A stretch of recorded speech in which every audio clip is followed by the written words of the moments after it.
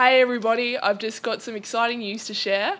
Um, this season, the 2019 season, is my last season of netball, and it's been an awesome six years with the Queensland Firebirds, and I feel so lucky and so privileged to have had that time on court with my friends and teammates and to share with all of the fans.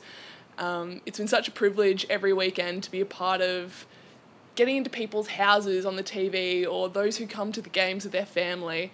Uh, it's been amazing to feel your support, and I personally just know that I have grown so much as a player and a person in the Firebirds environment, and I'm really excited to the next chapter of my time, which is just going to be getting a part time job, finishing off uni, and going to the next phase of my career.